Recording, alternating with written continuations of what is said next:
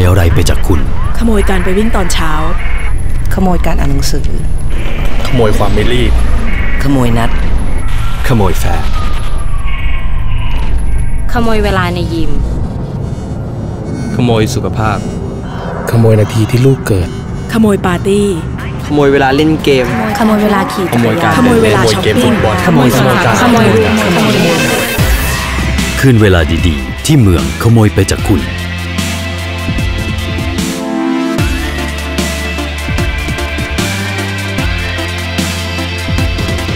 เซียร่าสีปทุม ติดสถานี BTS